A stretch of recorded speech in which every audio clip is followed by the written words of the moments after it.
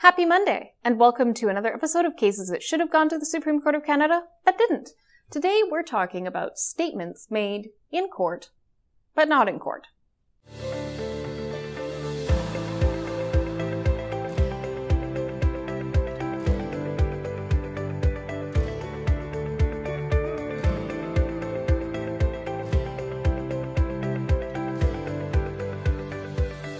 Cases that should have gone to the Supreme Court of Canada but didn't.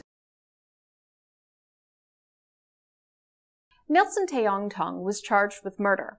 While waiting for a case management hearing in court dealing with his matter, he interrupted proceedings in another matter and blurted out a number of statements that were inculpatory. The court did not interpret those statements as uh, um, guilty pleas, but the Crown ultimately relied on them in Mr. Teong Tong's trial as admissions to having committed the offense. The court found that those admissions were made voluntarily and with an operating mind, and then relied upon them in part for its conviction of Mr. Teong Tong for murder. And this case raises important issues about the question of whether or not statements that you make in a court proceeding that doesn't relate to you can be used against you. Ordinarily, if you were in court and you were testifying in a proceeding, you could shield yourself from self-incrimination by invoking certain procedures. But what happens if you're not under oath and you're not testifying? Shouldn't statements that you make in court, particularly in the course of frustration that your case isn't being heard fast enough or soon enough by the judge, not be held against you?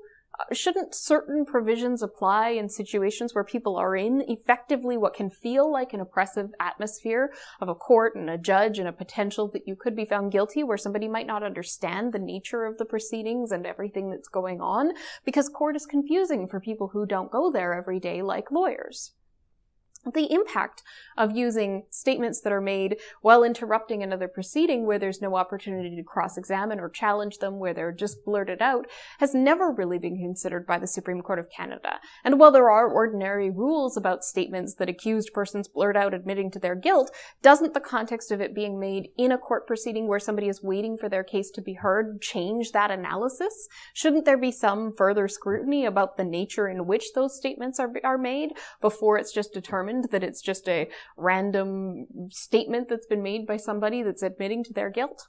In these circumstances, the court at the Supreme Court of Canada really should have had the opportunity to further analyze the atmosphere that can affect people when they are sitting in a courtroom and the atmosphere and how it can lead to statements that are admissions of guilt that maybe aren't actually voluntary in the context. Unfortunately, the Supreme Court of Canada didn't take the opportunity to consider this, and again has essentially failed to take the opportunity to hear a number of cases about out of court statements being used to prove guilt in very confusing ways. It'll take another case for us to determine whether or not this type of thing should be used against a person, but in the meantime, I expect lawyers will be advising their clients to, at all times, keep their mouths shut in court cases that should have gone to the Supreme Court of Canada but didn't. Thank you for tuning in to another episode of Cases That Should Have Gone to the Supreme Court of Canada but Didn't. I'm Kyla Lee at Acumen Law Corporation. Thank you to Brazen Bull Creative for putting together these videos. Please like, subscribe, and share with your friends.